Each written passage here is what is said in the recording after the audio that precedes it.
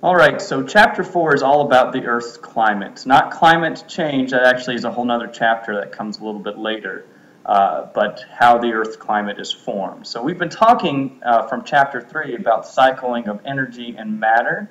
Uh, we've mentioned how in the cycling of energy, how net primary productivity tends to be highest around areas with a lot of sun and a lot of precipitation. Uh, places with high net primary productivity also tend to have uh, high, higher temperatures. Now, how the sun hits the planet and where we get our precipitation and where we have high temperatures and low temperatures are not equally distributed on the planet. Uh, this unequal distribution of the Earth's temperature is why we have such a diversity of ecosystems on our planet.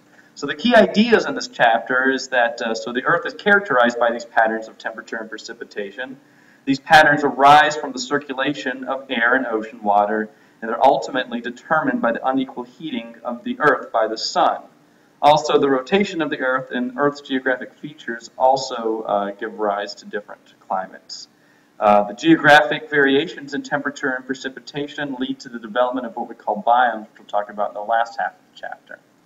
So let's first just briefly mention what climate is. Climate is the average weather that occurs in a given area over a long period of time, typically over decades. Climate is different than weather.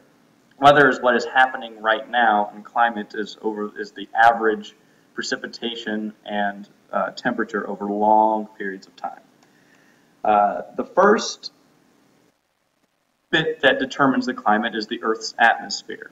The Earth's atmosphere is divided into several different layers. The first layer is the troposphere.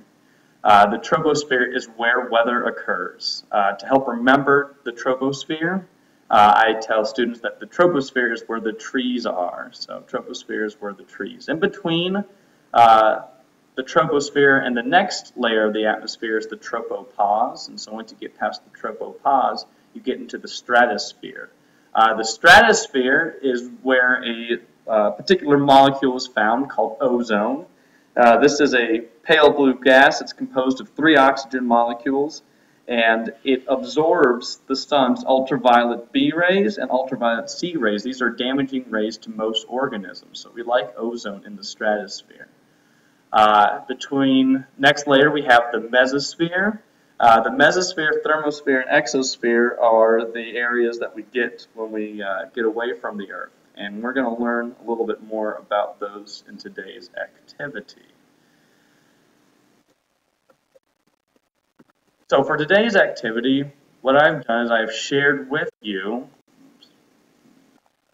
I've shared with you this spreadsheet. The spreadsheet has uh, is actually contains data from a weather balloon that increased in altitude from 0 to 120 kilometers above the Earth and took temperature readings along the way.